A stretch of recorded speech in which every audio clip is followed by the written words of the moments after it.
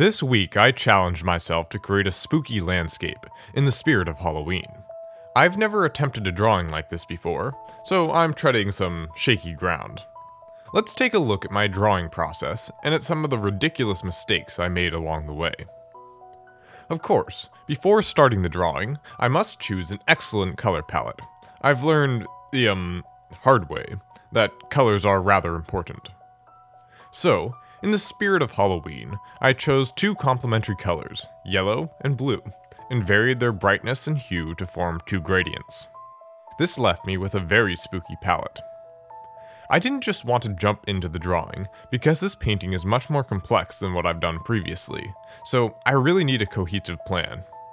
I quickly sketched out some spooky cottages in the center, in my signature wacky style, of course. I really wanted the drawing to focus on these two buildings, so I curved the entire landscape around the houses. I drew some foreground trees to make the scene feel a bit darker and to create the feeling of depth. And finally, I sketched in an oversized moon behind the houses and added some spooky pumpkins in the foreground. But I felt I needed a little more planning. So, I did some very rough shading to give myself an idea of what the final scene should look like. This helped me realize that I really wanted the windows to stream light into the scene.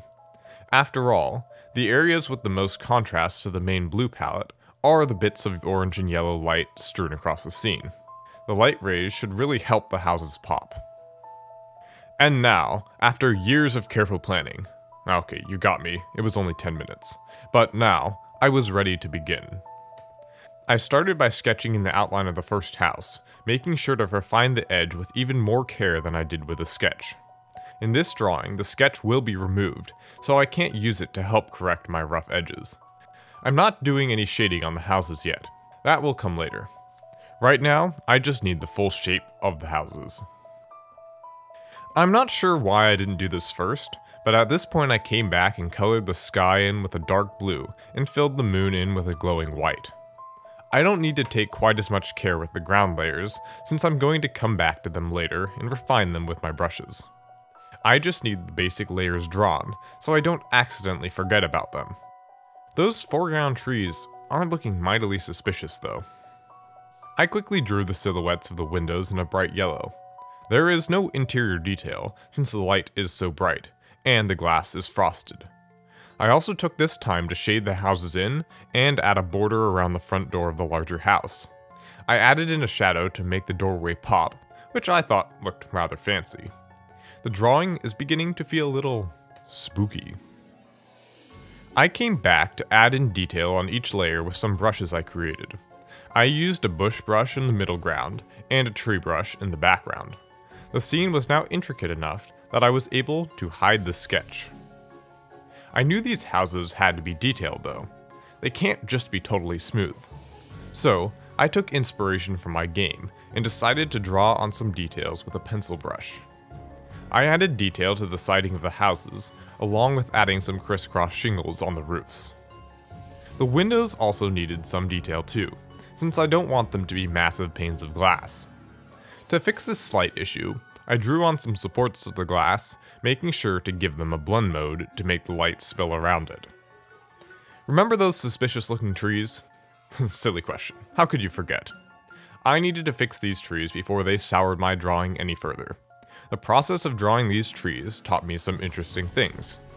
I found to make a tree look truly spooky, you must constantly make the branches curl backwards.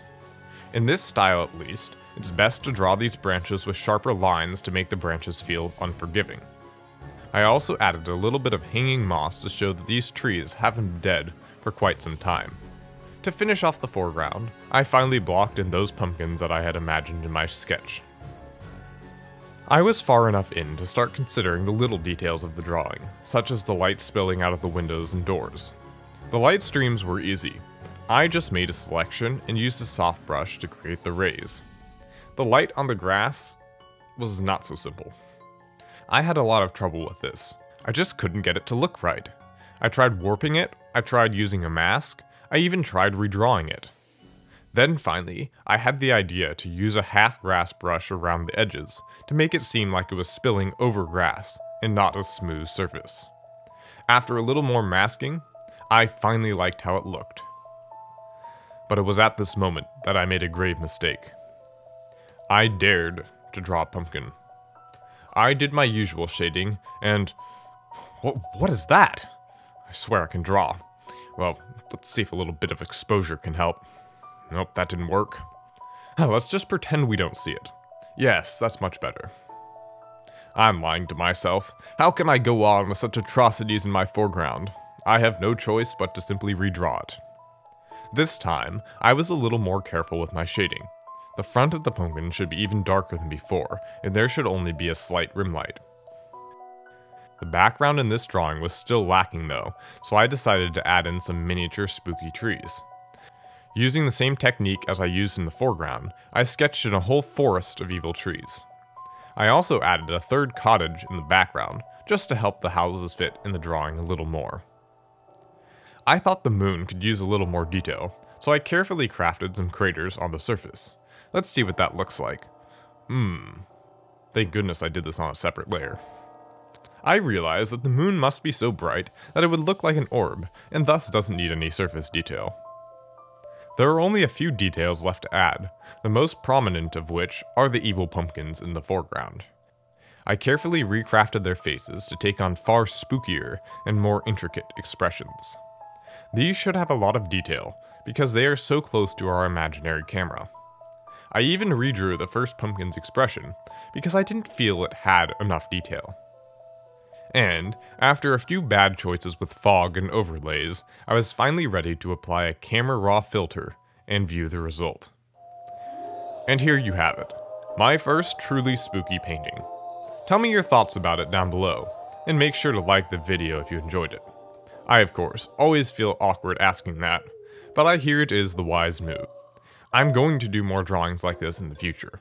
I had never tried to draw a 3D landscape like this. It makes me wonder what epic things can be created when I use these newfound skills for my game. If you are wondering what I could possibly mean when I reference my game, try clicking on my first devlog on screen now. But anyway, thank you for watching.